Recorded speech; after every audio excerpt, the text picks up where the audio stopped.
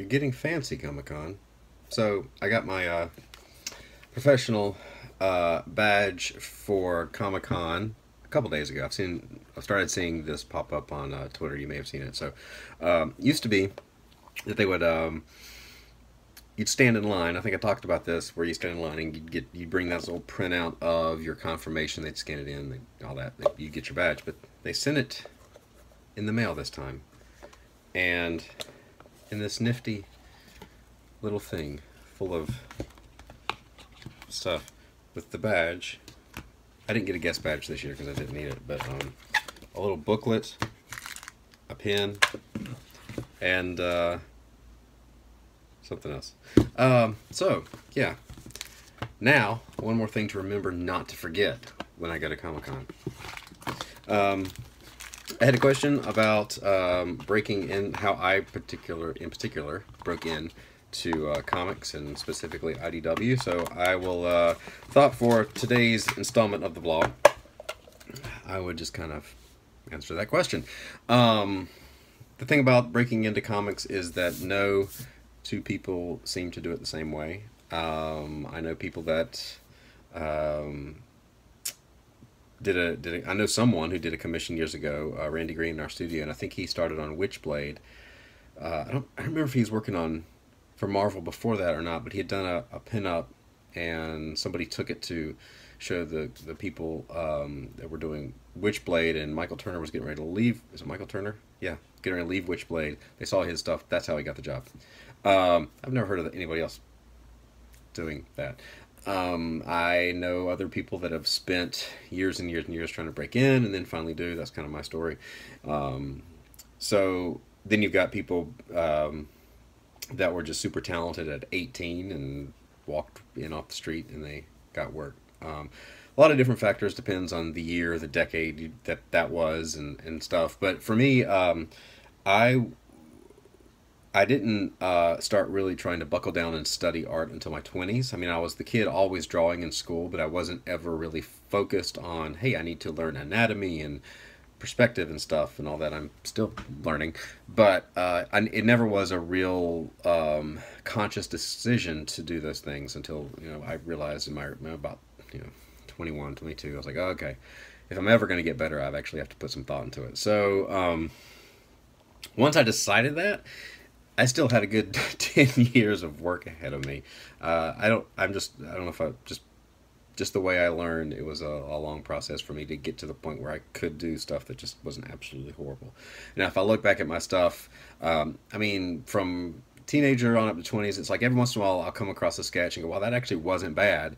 Um, but it was that consistently of consistency of knowing why it wasn't bad and being able to do quality work as a norm as opposed to blind squirrel finding a nut and all that. Um, so I was drawing uh, a creator-owned book called Gravy Boy. It was a story about a uh, kid who was supposed to get the um, power to manipulate gravity at will, but through a mistake gets the power to manipulate gravy. And me and my friend Marty Blevins, who wrote it, did uh, about four issues, and we tried to self-publish, and we went, we submitted it to Diamond, and we are going to publish. Diamond rejected it. Uh, we had another um, distributor through Hastings, so it was in some bookstores.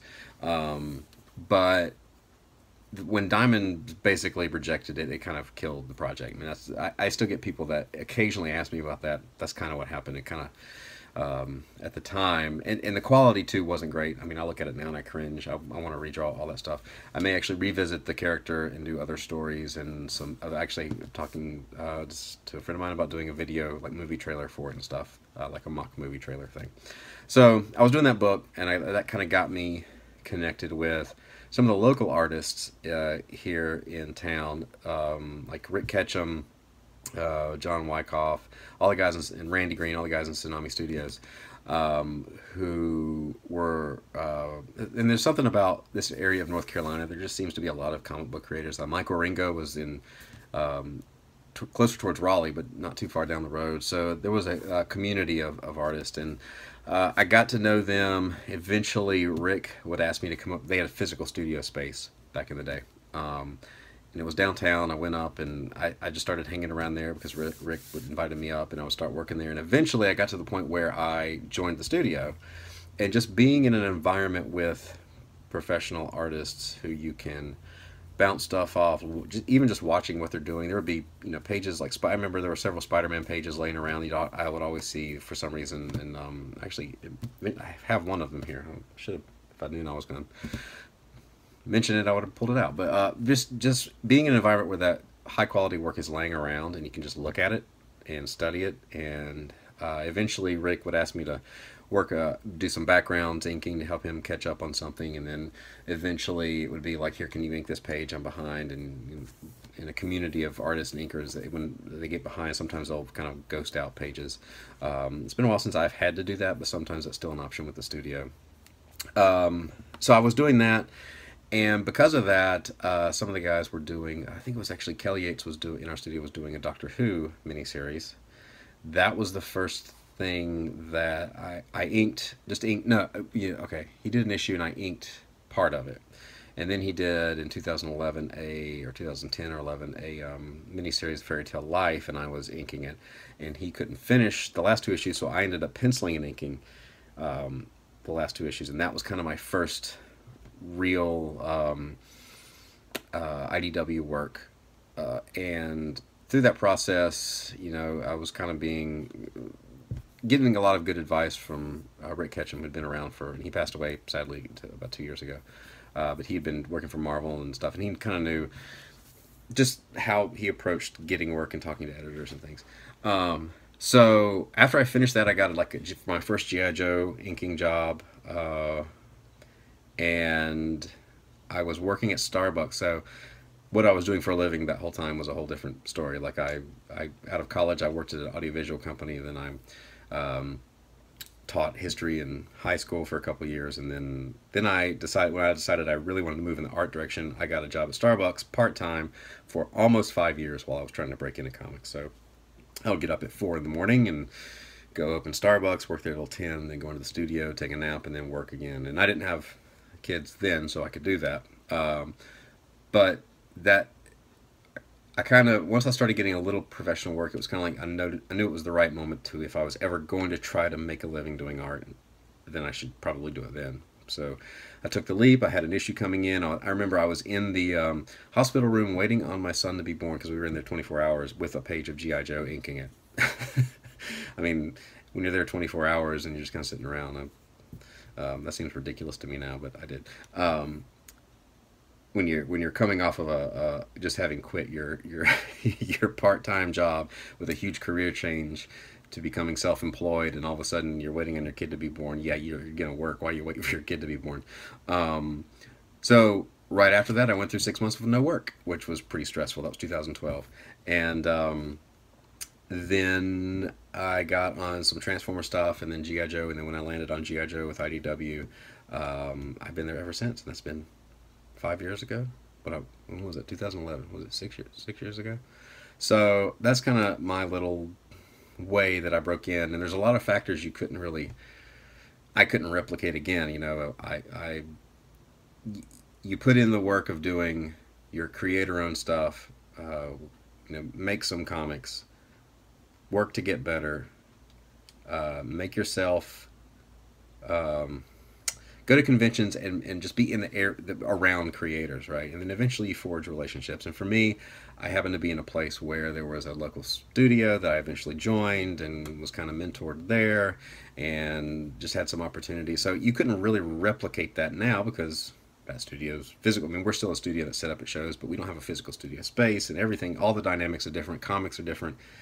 Um, so that's kind of how I got in. But my story is again, if you ask ten comic book artists how you broke in, you'd probably get eleven different stories um, because it's just a weird thing. It's not like you know you. What's on you is if you're going to break in. I think I say that a lot in this vlog. I think because um, again, my my experience is is just me and a few people I know, but I, I think that what is up to you, I know is up to you, is to get better, do projects, uh, and be patient, and get out and go. Uh, even if you're, you know, not a big, and I'm not like, I, I have, I've, networking doesn't come easily. I'm an introvert, um, and um, I've said before, I just keep showing up. So that's one of the things. Be nice, be friendly. You don't have to be like the perfect social butterfly, but just put yourself in a position, even though you're uncomfortable, to, if you are that type of person, that you you can, can keep showing up in those situations and just be friendly and uh, work to get better. And eventually, you'll start to make a little headway. As far as the time frame, how long that takes, I have no idea. It took me uh, from the first time I ever showed my stuff to an editor to the time I was ever paid to do a comic was eight years. So now part of that is just me needing to grow as an artist. So if you can get better as an artist, that for you will be uh, quicker. So I recommend that. The younger you get started, the quicker you'll get work. so um, I think that's my biggest handicap for me and just starting the career and um, uh, was being late into buckling down. Um, so you know I, I, became a professional artist in my 30s. I'm 41 now, so maybe this is I don't know.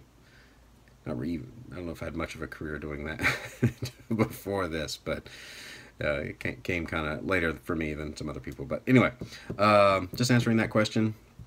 This is the vlog, uh, depending on when you watch this. Uh, it may be after July 4th for you, but it is July 4th weekend, so there will not be a vlog or a video on July 4th. Um, and nor will there be a live drawing video that day because it's a holiday. It's my nephew's birthday, and my son will be here in the house, and that's impossible to get anything done when he's here. So uh, I will catch you all on Monday, or whenever you watch this. You could watch this on Monday. If that's the case, there'll be another vlog coming. Anyway, like and subscribe down there in the corner, and uh, have a good one.